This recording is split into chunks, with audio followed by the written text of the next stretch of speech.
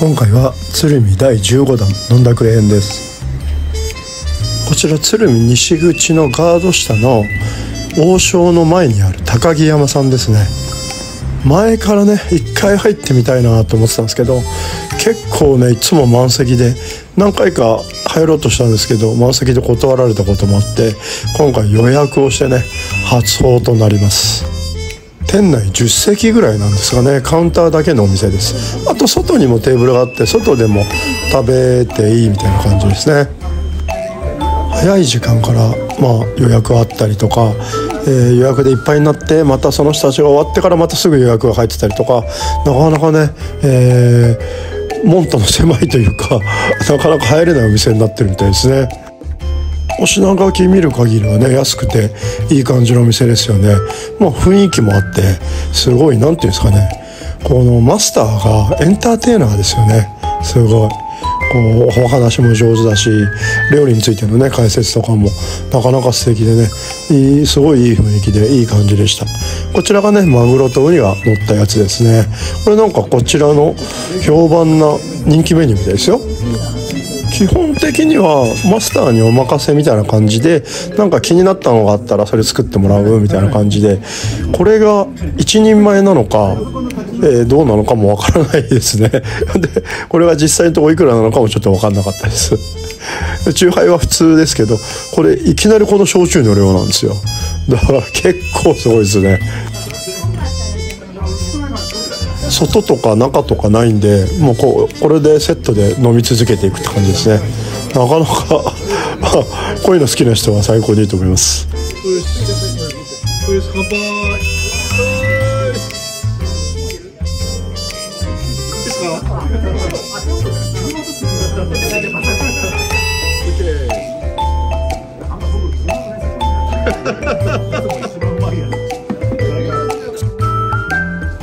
れは確定ですね。なんかこちらでつけてるみたいですね。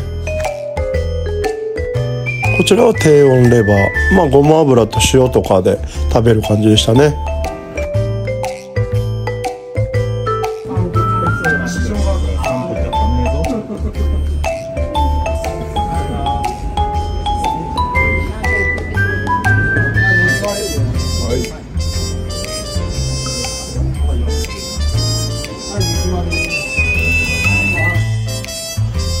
ちらがねぎまなんか低温炭火で焼くっていうのをあと余熱を使ってっていうのが焼き方のなんかこだわりみたいですね。こちら自家製レモンサワーなんかねレモン絞ったやつをそのまま使っててすごい美味しかったですね。これが初ユッケだと思うんですけどもしかしたらこう複合のやつなのかもしれないですけどね。複合っていうのもメニューあったんで。これがだから何人前かいくらかちょっと分かんないですね。これ結構美味しかったですね。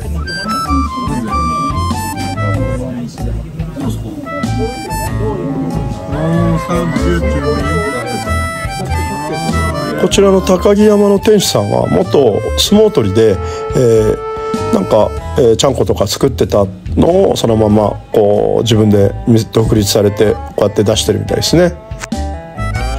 とてもねお話も上手でねとてもいい雰囲気のお店だと思います。いろんなねメニューがあって、えー、こういう煮込みとかもみんな美味しい美味しいって食べてましたね。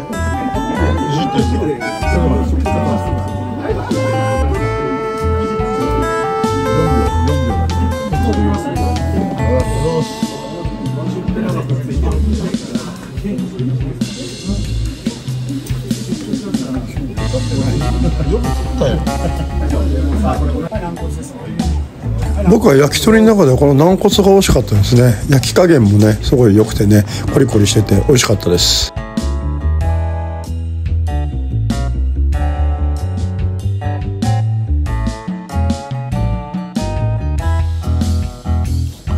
こちら基本的には席が空いていれば、えー、普通に入れるみたいなんですけど結構予約で埋まってる日が多いようなのでもしね行きたい方は予約されるといいかなと思います、えー、こちらのねポテトサラダと自家製チャンズヤのなんかも美味しいって言ってましたねみんなね。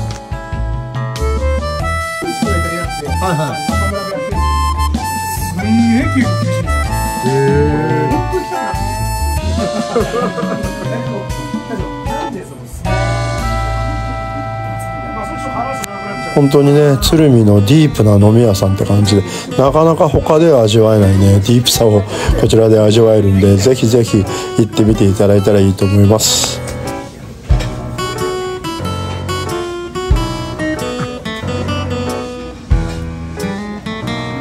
そしてね2軒目に行ったのが西口から逆ですね。東口の方にあるなんていうお店なんですかね。えチュラ海ミミさんっていうのかな？沖縄料理のお店ですね。なんか料金設定いまいち僕も覚えてないんですけどなんか2時間だか飲み放題でなんか食べ物を注文するという形だったと思います。僕耳がっていうかね豚耳好きなんでねこういうのも良かったですね。なんかねこの店はカラオケとかもあってカラオケも歌い放題みたいなこと言ってたんでなんかみんなで歌ってワイワイ騒いでめちゃくちゃ楽しかったの覚えてますね。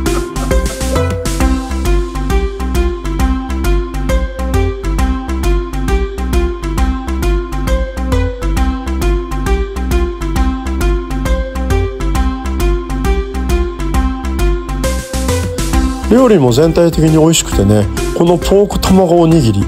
本当は卵入ってないみたいなんですけどこの前ポータマ行ってしまってて なんかショックだったんであの卵入れてくれっつってポークおにぎりに入れてもらってねポーク卵おにぎり食べたんですけどね。美味しかったですね。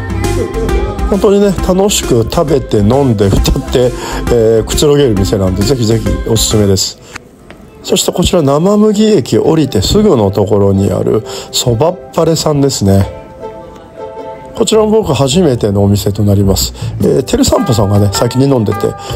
ー、合流してくださいって言うんで、じゃあ参加させていただきますっていうことでね、えー、二人飲みとなりました。仕事終わりの一杯はね、美味しいですよね。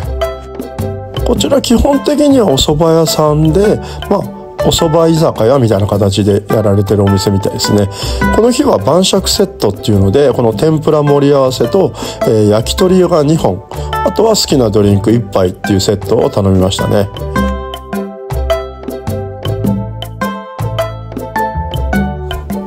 こちらのね濁り酒飲みながら結構ね甘くない濁り酒僕好きなんですよね、えー、こちらの濁りもすごい美味しくてもう飲みすぎちゃいましたね。なんか最近知ったんですけど鶴見駅周辺よりも生麦周辺のがなかなかディープな店があるんだなと思ってちょっとね生麦探検しちゃおうかななんて最近思ってます。生麦以外でもですね安くて美味しい、えー、こんなとこが面白いよみたいな店があったらぜひぜひコメントで教えてください。今回は鶴見第15弾飲んだくれ編です。ご視聴ありがとうございました、えー、またよろしくお願いします。